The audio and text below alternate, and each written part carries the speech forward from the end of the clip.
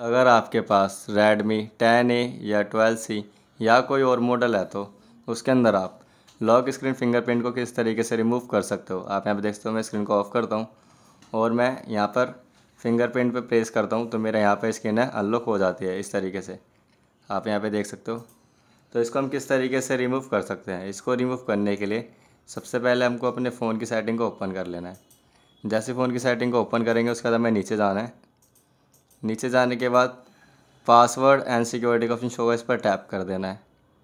Fingerprint का option show हो जाएगा, इस पर टैप कर लेना आपका जो भी पैटर्न हो, उसको यहाँ पर ड्रॉ कर देना है।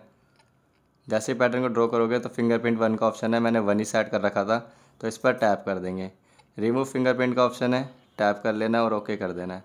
तो यहाँ पर आप देख सकते हो, आपका जो कि फिंगरप्रिंट है, वो रिमूव हो जाएगा। यहाँ पर आप देख सकते हो, मैं बार बार कर रहा हूँ, लेकिन मेरे यहाँ पर स्क्रीन अनलॉक नहीं हो रही।